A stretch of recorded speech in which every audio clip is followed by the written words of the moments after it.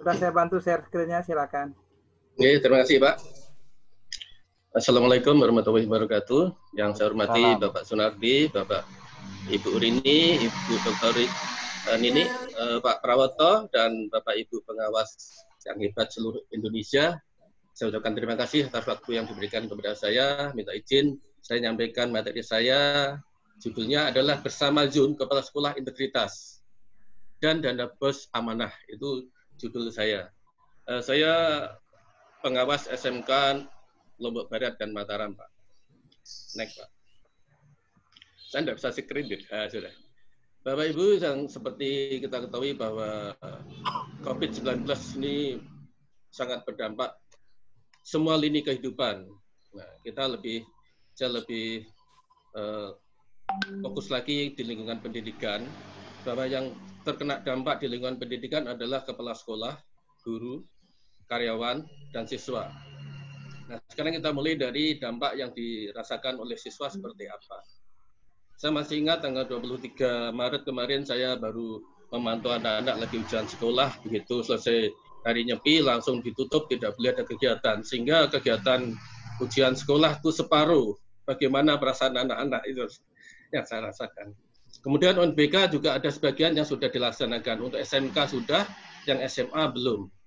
Anak-anak SMK itu tidak ada uji kompetensi keahlian, tidak ada praktek kerja lapangan. Artinya kompetensi keahlian anak-anak di SMK ini tahun ini sangat-sangat meragukan. Oleh karena itu ada pengalian kegiatan UKK dan PKL pada bulan Agustus sampai bulan November yang akan datang.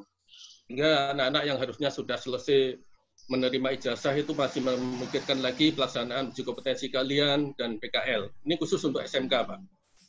Nah, kemudian setelah itu minggu kemudian eh, Pak Menteri mengeluarkan Permendikbud nomor 4 tahun 2020 tentang pelaksanaan pembelajaran daring. Bahwa di situ membutuhkan kuota internet, kemudian ada pulsa, WP harus dibayar untuk guru dan siswa juga untuk pencegahan penularan dan pencegahan COVID-19 di lingkungan sekolah. Oleh karena itu, sekolah harus menyiapkan bahan-bahan kesehatan dan alat-alat kesehatan seperti disinfektan, kemudian sanitizer, kemudian ada tisu, ada apa itu, dan segala macam kegiatan-kegiatan itu. Sementara sekolah itu belum menyiapkan anggaran untuk kegiatan-kegiatan ini sehingga pada bulan Maret itu kepala sekolah yang jadi bidang saya dan lingkungan Lombok Barat itu kalang kabut. Sementara dana bos belum keluar, kemudian harus segera melakukan kegiatan ini. Ini yang jadi uh, latar belakang permasalahan. Kemudian sekarang PPDB yang sedang berjalan hari ini, teman-teman sangat tertekan sekali, Bapak. Sekalian saya guru mau masuk, 100 meter dari guru, sekolah itu ada orang yang terpapar COVID. Kemudian 100 meter ada yang ada yang terjangkit COVID. Sehingga guru-guru di lingkungan yang saya bina ini sangat menderita sekali. Akhirnya kegiatan online juga tidak jalan, offline juga tidak jalan. Akhirnya kemarin malam saya apa itu Vicom dengan teman-teman guru di situ harus gerilya gerilya datang ke sekolah ke rumah masing-masing calon peserta siswa. Akhirnya hari ini alhamdulillah teman-teman uh, sekolah saya sudah banyak yang mendapatkan siswanya. Itu uh, efek COVID-19 di lingkungan pendidikan. Kemudian bagaimana orang tua? Efek daripada COVID-19 bagi orang tua siswa adalah menjadi guru di rumah. Kemudian rumahnya dijadikan kelas. Ini juga merupakan tantangan yang sangat luar biasa sekarang saatnya kalau kita bicara detik ini adalah pemerintah mengambil tiga opsi. Apakah kesehatan yang diutamakan? Apakah e- perekonomian Indonesia dibuka seluas-luasnya? Tetapi masalah sosial tidak bisa terlepas, Pak. Orang tidak boleh saling jabat tangan, kemudian kita harus saling menjauh dengan teman-teman yang lain karena harus jaga jarak begitu. Terima kasih, Pak. Next. Okay. Nah, masalah utama adalah bahwa pelayanan perkantoran dan pendidikan harus tetap berjalan meskipun uh, COVID COVID-19 itu sedang mewabah. itu yang menjadikan permasalahan. Oleh karena itu, eh, Kepala Dinas Dikut Provinsi NTB mengeluarkan eh, sistem penyelesaian ASN kerja ASN itu bagi karyawan, guru, TU yang usianya lebih dari 50 tahun itu ya mungkin diberi uh, prioritas lah.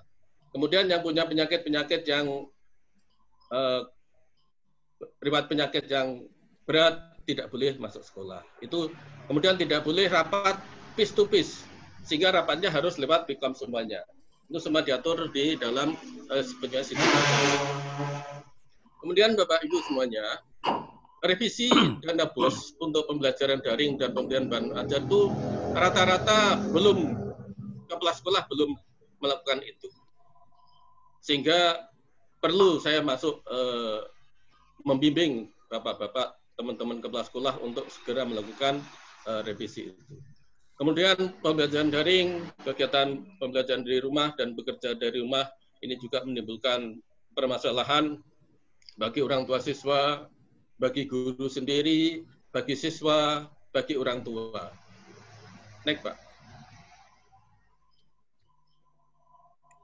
Metode yang akan saya pakai yaitu pendekatan daring melalui forum grup diskusi, yaitu kemudian sarananya, sasaran adalah kelas sekolah bersama tim bos, kemudian alatnya menggunakan Zoom.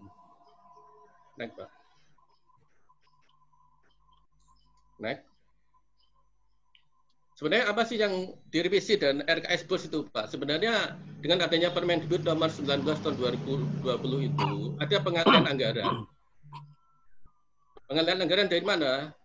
Anggaran jasa dan daya itu bisa dipergunakan untuk pengadaan pembelajaran daring. Misalkan pembelian pulsa, kota, membayar WP guru dan siswa. Kemudian pembiayaan administrasi dan kegiatan sekolah, kan memang ini sedikit dibutuhkan, itu bisa dipakai untuk pembelian bahan dan alat kesehatan, seperti cairan sabun, cuci tangan, disinfektan, kemudian sanitizer, mungkin tisu atau tempat cuci tangan dan cuci apa itu membersihkan lantai segala macam semua harus dianggarkan. Sementara kepala sekolah banyak yang belum melakukan itu. Nah, nah ini contoh daripada revisi RKS, bos. Jadi boleh digunakan kegiatannya untuk untuk pembelian pulsa guru, siswa, untuk kota WP, sabun cuci, cairan desinfektan, pembelian masker, botol cairan sanitizer, hand sprayer. Jadi nah ini berlomba-lomba bapak-bapak untuk yang hand sprayer ini sekolah itu yang karena ini SMK menciptakan hand sprayer yang otomatis juga ada, apakah yang manual juga ada. Jadi kalau hand sprayer yang manual seperti orang petani dulu begini itu harganya 350 di Lombok, Pak. Tapi kalau yang pakai di atas itu, kemudian kita lewat kemudian nyemprot sendiri, itu harganya sampai 2 juta lebih itu. Jadi setiap sekolah rata-rata yang hand sprayer yang manual itu punya, untuk yang otomatis yang semprot di atas itu hanya satu dua yang sudah. Kemudian termogan. Jadi termogan untuk mendeteksi suhu badan itu boleh dibelikan. Tetapi Bapak Ibu semuanya, eh, setelah saya nanti bisa dilihat selanjutnya, termogan jarang sekolah yang membeli. Jadi belum ada satu sekolah pun satu pun yang membeli termogan itu untuk mendeteksi suhu badan itu. Pak tadi next tadi Pak. Ya. Nah, Bapak Ibu semuanya, ini adalah rencana kegiatan saya untuk kegiatan uh, pembinaan kepala sekolah dan merevisi dana pos itu saya menggunakan Zoom. Ini apa itu uh, Zoom meeting saya. Kemudian passwordnya saya kasih nama revisi bos. Kemudian saya menggunakan untuk absensi kehadiran Bapak-Bapak itu menggunakan suhu form yang dilaksanakan kemarin pada tanggal 27 Mei 2020 kemarin, barusan kemarin. Naik, Pak. Ya inilah uh, Bapak Ibu semuanya, ini kepala-kepala sekolah SMK Lombok Barat dan Mataram. Saya sampaikan bahwa jumlah sekolah di Mataram dan Lombok Barat, khususnya Lombok Barat, ini ada sekitar 60 sekolah. tetapi yang saya tekankan di sini Lombok Barat itu 40 SMK swasta dan negeri yang menghadiri 22 kepala sekolah dan ditambah dengan tim bos itu ada 34 orang. Ini ini banyak kendala juga waktu pelaksanaan Zoom ini juga banyak kendala. Untuk kepala sekolah yang sekolahnya sudah WP-nya ya bisa langsung join nama saya. Tetapi tim bos seperti guru, TU, anu bendara bos itu ada yang calling join kita di sebelah supermarket sebelah rumahnya. Ada yang ke masjid, masjid punya WP, dia ke masjid untuk ikutan daring ini. Ya, jadi kendalanya masih banyak. Pak Ngaturi, ingatkan yeah. waktu Pak. Uh, cancel menit malah lima oh, menit lagi Pak. Jen, jen, jen, lanjut Pak. Lanjut Pak. Ini hampir selesai juga. Lanjut Pak. Next.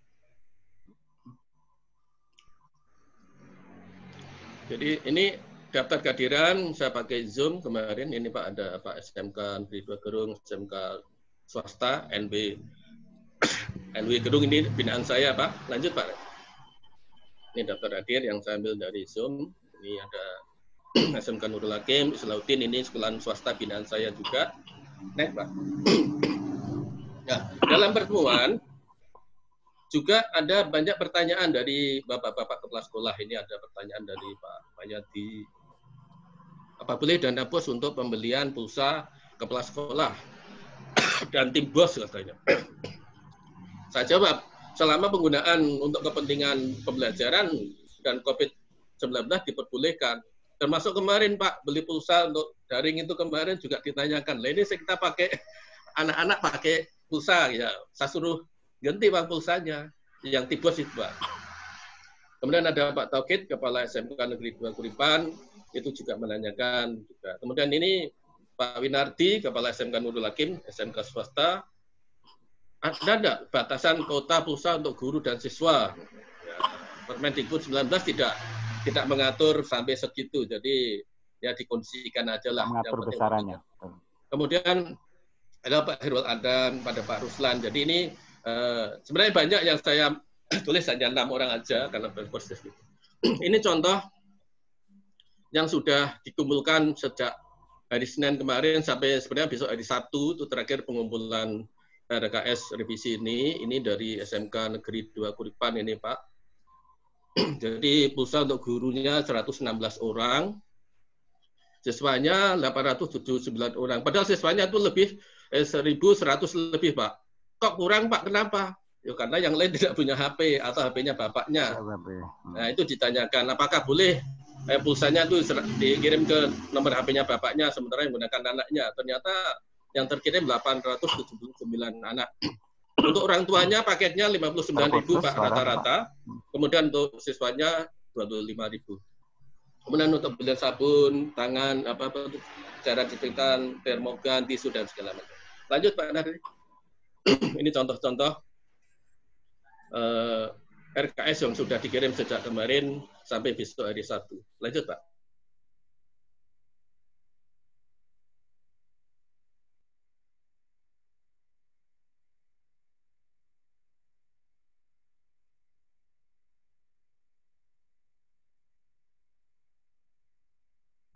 Pak Ngakan? Ya, ini ada SMK Negeri. Nah, sekarang Bapak Ibu semuanya, bahwa pelaksanaan kegiatan pembinaan revisi dana bos itu dilaksanakan kemarin tanggal 27 Mei, kemudian pengumpulan RKS itu kemarin hari Senin sampai besok hari Sabtu, sampai hari ini juga masih ada yang ngirim tadi, tapi belum sempat saya masukkan di sini. Kemudian monet, monep dan penyaluran dana bos rencana kita laksanakan pada minggu keempat bulan Juni besok sekaligus untuk mengetahui realisasi penggunaan dana bos. Ya. Nah ini rencana akan saya gunakan nanti Google Form, Pak. Jadi ya. untuk menepnya. Sasarannya orang tua siswa, guru, kepala sekolah, kemudian siswa. Satu menit lagi, Pak. Langsung Oke, lanjut, ke kesimpulan. Pak. Kesimpulan. Ya. ya, jadi kesimpulannya bahwa kegiatan PPDB pembelajaran dari rumah tetap harus berjalan meskipun dalam kondisi COVID-19 ini kemudian eh, pelaksanaan pelaksanaan eh, kemudian pelaksanaan PPL, PKL, dan segala macam harus tetap terlaksana karena memang harus segera dilaksanakan, tetapi itu tidak terlaksana. Sehingga segera melakukan revisi dana bos dan langsung dibelanjakan. Kemudian besok bulan Juni ini, akhir bulan Juni ini harus membuat SPJ pertanggungjawaban penggunaan dana bos. Ya. Begitu Bapak Ibu semuanya, terima kasih waktu diberikan pada saya. Ini sekedar berdoa yang bisa saya berikan. Terima kasih Bapak Topik ya. Wassalamualaikum warahmatullahi wabarakatuh. Selamat sore. Waalaikumsalam warahmatullahi wabarakatuh. Terima kasih Pak Dr. Andes Ngaturi yang telah memberikan presentasinya terkait dengan paparan Bapak tentang makalah Bapak tentang optimalisasi integritas kepala sekolah, akutabilitas, transparan, dan tercukupi jujur melalui Google Form. Eh, sangat menarik dari apa yang disampaikan Bapak. Eh, tentunya sesuai dengan aturan kita, eh, kita berikan waktu penanya kepada teman-teman itu ada 30 menit ke depan. Mungkin ada yang mau bertanya dari Resken? Kayaknya belum ada. Ada yang nanya? Ada yang bertanya, teman-teman? Bapak Ibu? Muhammad Isa sudah Resken itu, Pak. Iya, Pak Sudirman. Ya, Pak, Pak Sudirman ini. Pak Dirman. Oh. ya, Pak Dirman. Oh ya, kita mulai dari dari chat dulu ya, Pak. Ya, ini Pak ada yang dari Prantama, chat. Pak. Ya, Pak dari chat ini kebetulan Pak Megi, Mak Megi Prantama. Ini dari baik kanan, Pak. Iya, Pak Waki di Lombok juga ini Pak bertanya. Pak Waki ya. di Lombok. Kita mulai dari Pak Megi Pak, dari Pak Megi dulu Pak. Iya, uh, Pak terima Megi kasih. Pratama dari Waikanan, Lampung, ya. dari Waikanan Lampung. Monggo Pak. Terima, terima kasih Pak Sunardi, Pak Ngakan uh, atas kesempatannya yang kepada saya uh, terkait dengan paparan yang disampaikan oleh Pak Ngatnuri tadi uh, bahwasanya untuk uh, penyelenggaraan akuntabilitas Eh, transparansi untuk dana bos mengalami perubahan ini. Cuman yang ingin saya bertanya terkait dengan mata uraian kegiatan itu tentang peningkatan mutu, Pak. Peningkatan mutunya itu tadi hanya sebatas kuota guru dan kuota siswa.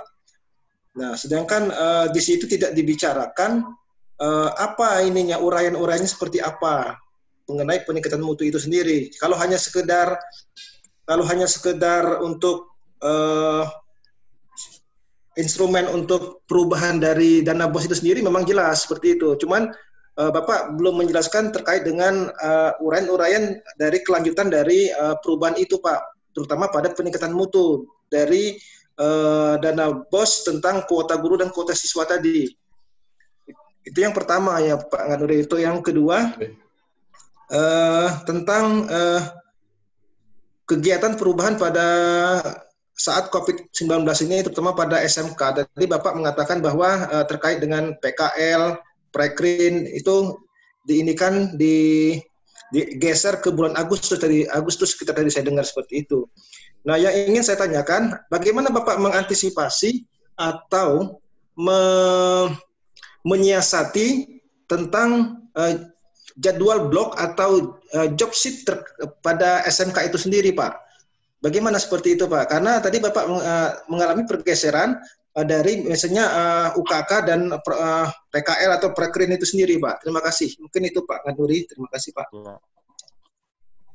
Ya. Pak Megi yang telah memberikan pertanyaan. E, pertanyaannya ada dua Pak Ngaturi. E, yang ya. pertama terkait dengan dana bos, revisi dana bos menjelaskan kelanjutan hubungannya dengan peningkatan mutu. Itu yang pertama, Pak Ngaturi. Iya. Pertanyaan yang kedua, eh, yaitu tentang uh, jadwal prakerin yang diundur sampai bulan Agustus, bagaimana uh, menyikapinya. Uh, mohon diberikan penjelasan. Kami persilakan kepada Pak Ngaturi. Ya, terima kasih Pak Sunardi, Pak Megi, Perantama yang saya hormati. Mungkin saya mulai yang pertanyaan nomor dua Pak Megi.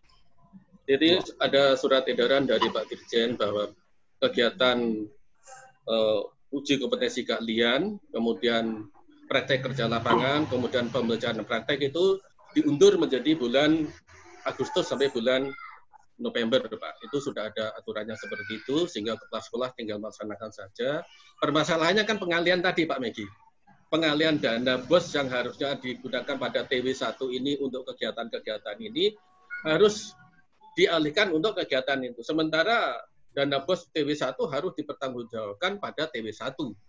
Nah, inilah jadi kepala sekolah sehingga nanti dalam TW SPJ TW1 ini tidak ada namanya laporan pertanggungjawaban penggunaan dana bos untuk kegiatan uji kompetensi keahlian, kemudian untuk praktek pembelajaran praktek anak, itu dialihkan semua.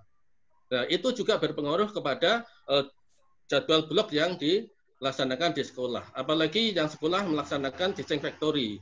Di sini juga bloknya juga mundur semua Pak otomatis. Hmm.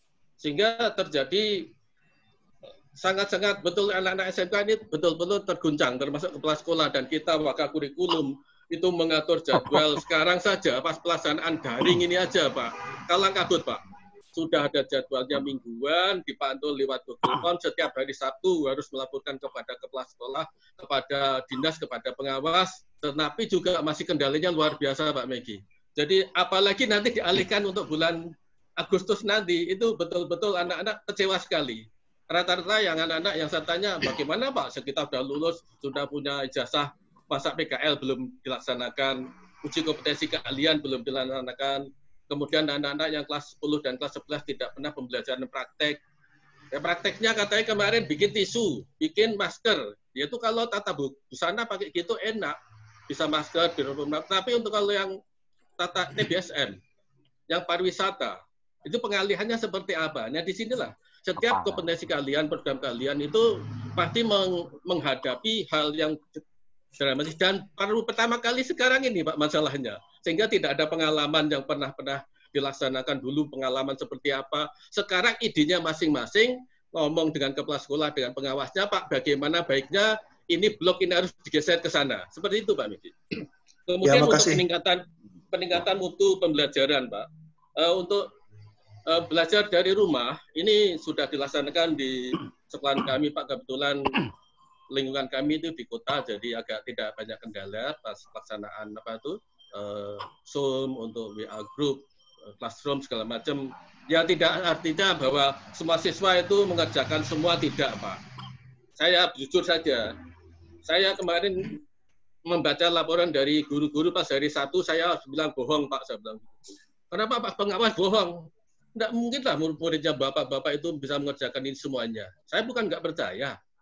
Ya bikinlah laporan itu yang realistis lah janganlah 100%. Ya 92%, 95% anak mengumpulkan tugas itu yang logis dan realistis. Bukan saya nggak percaya dengan laporan Bapak, saya bilang begitu Pak. Itu tentang ya. kualitas yang diminta Pak Megi tadi. Jadi ya, artinya ya. bahwa anak di kota itu bisa mengerjakan tugas 95% saja sudah luar biasa. Apalagi anak-anak yang di balik gunung Pak Megi Pak Nardi, ya. kemungkinan besar ya, kurang dari 50 persen, ya, Pak. Pak, seperti itu. Jadi kualitas ya. pembelajaran di rumah itu ya relatif antara di kota, di pinggiran pantai, di balik gunung itu sangat-sangat relatif, Pak. Jadi kualitas tidak bisa jadi tolak ukur, Pak Pak Megi. Ya, kemungkinan terima kasih. Mungkin jawaban saya ya. seperti itu, Pak Megi. Ya. Maaf. Ya, terima, terima kasih, Pak. Terima, terima kasih, ya, terima Pak. kasih Pak Pak Ngaduri. Uh, Pak Megi ya. gimana dengan jawaban beliau, Pak? Iya, terima kasih Pak. Dah, sudah Pak. Pak. Ya Pak, pas Pak, makasih. Uh, saya nambahkan sedikit mungkin Pak. Minta dari direktorat Pak mungkin ditambahkan itu juga sebagai masukan. Oh iya. Iya. Ya, apa tuh yang harus kita isi uh, ya. persiapan dalam kondisi COVID ini juga COVID, persiapan ya. untuk pembelajaran apakah bulan semester ini akan bisa dilaksanakan atau belum? Uh, atau tidak. Ya, saya termasuk ngisi Pak kemarin. Terima kasih Pak. Saya, ya. saya kirim. Nggih, Pak. Ya. Terima kasih Pak Nganturi. Uh, masih ada ya, lagi Pak. pertanyaan kita lanjutkan Pak. Pak Nganturi uh, sudah lanjut. sudah siap betul ya Pak ya? Sudah lancar nih jawabannya ini. oh sudah dilakukan ya. Ya, ya, ya. sedapannya sebeginilah sudah dilakukan. Ya, ini kan bukan gagasan lagi Pak. Jadi ya. best praktis yang sudah dilaksanakan ya. jadi begini. Ada Bu Suharta Suhartina. Uh, silakan Bu Suhartina untuk memberikan pertanyaan. Bu Suhartina. Itu ada Bu Titi Pak Sunardi, uh, yeah. raise hand itu Bu Titi raise hand Bu Titi. Ya. ya, Bu Titi oh, iya. Oh iya Bu Titi, Bu Titi. Monggo silakan Bu Titi. Putri ini Winarti. Tapi mute-nya belum itu. Iya, tolong mute-nya Pak Prawoto. Bu Titi, Bu Titi bisa sendiri unmute. Silakan Ya. Bu Titi. Halo Bu Titi. Silakan Bu Titi. Mana tadi sudah ngomong? Sudah. Atau Pak Eko dulu? Pak Muhammad Titi. Isa, Pak Nardi? Iya. Bu Aslin, Bu Aslianti, Bu Aslianti ada juga tuh di chat Bu Aslianti. Bu Mu- Bu Pak Muhammad Aslianti. Isa, Pak. Muhammad Isa sudah Oh, saya unmute. Oke. Pak Assalamualaikum Muhammad Isa, warahmatullahi monggo Pak, silakan Pak Ya. Muhammad Isa. Silakan, Pak. Assalamualaikum warahmatullahi Isa? wabarakatuh. Dari pengawas SMP Sidoarjo, Jawa Timur. Iya, Pak. nggih. Assalamualaikum warahmatullahi wabarakatuh. Waalaikumsalam warahmatullahi wabarakatuh. Waalaikumsalam Pak Isa. warahmatullahi wabarakatuh. Ada dua yang saya tanyakan. Iya, Untuk daerah kami itu untuk apa? Perubahan RKAS-nya itu belum diadakan. Jadi mohon penjelasan Pak Ngasari karena saya sebagai pengawas yang mungkin agak baru, mohon penjelasannya untuk revisi Benar, RKS benar. itu bagaimana prosesnya?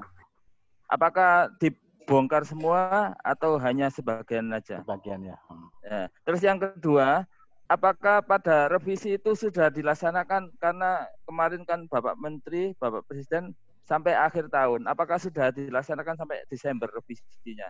Terima kasih. Assalamualaikum warahmatullahi wabarakatuh. Waalaikumsalam warahmatullahi wabarakatuh.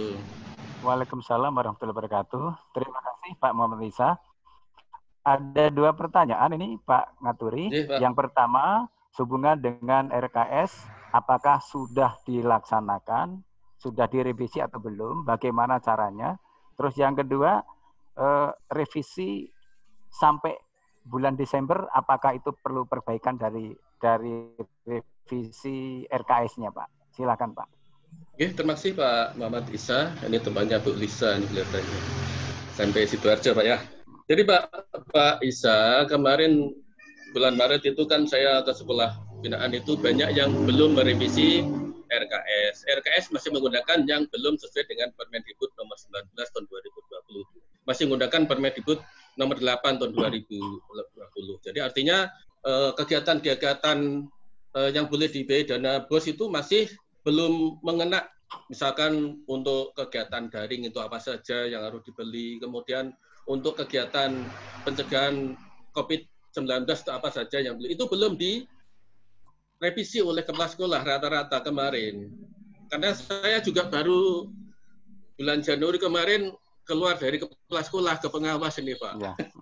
Jadi saya juga juga ikut merasakan RKS saya yang saya bikin bulan Desember dan Januari itu belum dirubah oleh kepala sekolah yang menggantikan saya. Dan begitu saya sudah jadi pengawas ada perubahan ini, saya juga balik lagi ke sekolah. Pak, RKS-nya dirubah. Loh, rubah apa Pak? Ya dirubah. Oh, ada aturan yang baru. Bapak nggak boleh pakai RKS saya. Saya bilang begitu kan. Harus dirubah. Apa Pak aturannya? Permendikbud 19 ini Pak. Der, der, der. Ya udah Pak kalau gitu kita revisi. Satu, untuk yang jasa Pak, misalnya eh, pembayaran listrik, pembayaran koran, air, itu kalau ada dana-dana yang sisa, itu dipakai untuk kegiatan daring. Kedua, dana-dana yang digunakan untuk administrasi perkantoran, kan tidak ada kegiatan administrasi Pak kemarin. Ujian sekolah tidak ada, kegiatan administrasi sekolah juga tidak ada. Artinya, ya sedikit dipakai oleh sekolah, itu digunakan untuk eh, pembelian alat-alat dan bahan-bahan eh, untuk kesehatan pencegahan COVID-19 itu di lingkungan sekolah. Itu dulu Pak, mindset kepala sekolah harus diajak seperti itu dulu. Ditunjukkan dulu aturannya, regulasinya apa. Ini loh Pak yang harus dirubah. Bapak nanti Pak bisa teman-teman yang lain juga lihat RKS-nya kepala sekolah yang bulan Desember, Januari itu sudah dilihat atau belum. Eh, Artinya sudah direvisi atau belum. Artinya begitu Pak. Di situ kan banyak poin Pak. 12 poin uh, dana bos itu kan ada 12 Pak. Nah di situ Bapak bisa lihat dulu. Oh ternyata ini masih Pak. Nah, Bapak kan nanya nanti Pak. Sampean pakai apa administrasi ini Pak? Bayar banyak-banyak. Oh nggak ada kegiatan administrasi kok menggunakan dana bos untuk kegiatan administrasi. Itu bohong kepala sekolah itu Pak seperti itu. Gitu. Satu, berarti tidak integritas Pak itu kalau ada kepala sekolah seperti itu. Ada lagi jasa. Jasa listrik kan tidak menggunakan banyak Pak. Uji kompetensi juga tidak laksanakan. Ya. Ya kan? Kalau di SMK itu, Pak, kalau sekolah tidak melaksanakan uji kompetensi kalian, listrik paling murah, Pak. Ya. Itu kuncinya SMK, Pak. ya, betul kalau SMK Ya. bapak-bapak yang pengawas atau kelas dari SMK paham sekali. Setelah uji kompetensi bisa. kalian itu bayar listrik bisa 3 juta 4 juta, Pak. Ya. Nah, ini kan tidak ada pelaksanaan uji kompetensi. Artinya uang itu minimal paling-paling sekitar satu juta kurang, Pak. Nah, dananya itu dipakai untuk kegiatan beli hand sanitizer, tisu, ember, tis, ya pokoknya untuk kegiatan itu Oke, Pak. Pak. Ya. Pak eh, Kemudian Pak untuk Ngatnuri. pelaksanaan RKS sampai bulan Desember, iyalah Pak. Karena kita tidak tahu COVID ini sampai selesai kapan kan kita nggak tahu Pak. Artinya tetap harus TW2 harus juga dianggarkan kegiatan-kegiatan ini Pak. Ya. Begitu Pak. Pak, Pak Muhammad Isa, mohon maaf kalau ada Ya. kekurangannya Pak. Pak Nadi. Terima kasih Pak Ngatnuri. Pak Iya. Mutasya gimana? Eh, kira-kira Pak Muhammad Isa? Puas Ya, Pak ya. Muhammad Isa dengan jawaban Pak Ngatnuri? Ya, terima kasih. Oh, itu lagi di unmute kebetulan. Ya, terima kasih Pak. Eh, kebetulan ini waktunya sudah sudah mepet Pak. Eh, Nanti kita lanjutkan dengan yang lain. Eh, saya eh, ngambil satu kesimpulan dari apa yang disampaikan oleh Pak oleh Pak Ngaturi. Yang pertama dengan kondisi COVID-19 ada yang kalang kabut Pak ya seperti itu, ada yang kalang kabut tadi. Tapi alhamdulillah dengan strategi pengawas yang baik, strategi pengawas yang jitu, kekalang kabutan tadi dapat diantisipasi bersama Pak Ngaturi dan kawan-kawan. Ternyata beliau ini belum lama jadi kepala sekolah ini kayaknya, baru baru jadi pengawas ini. Jadi apal benar dengan. RKS-nya. Jadi terima kasih Pak. Terus yang kedua saya ambil juga guru eh, orang tua sebagai guru. Walaupun dengan guru dadakan alhamdulillah berhasil dengan COVID-19 ini. Dan yang kedua eh, yang kami tangkap juga Bapak yaitu adalah rumah sebagai kelas. Wah sesuatu yang menarik Pak. Mungkin bisa dibuat dalam bentuk artikel itu Pak. Rumah dalam Pak. Saja terima kasih kepada Pak Ngaturi yang telah memberikan eh, presentasi dari makalahnya. Mudah-mudahan makalah ini bermanfaat dari teman-teman. Dan karena waktunya sudah cukup untuk Pak Ngaturi, eh, kami eh, lanjutkan kepada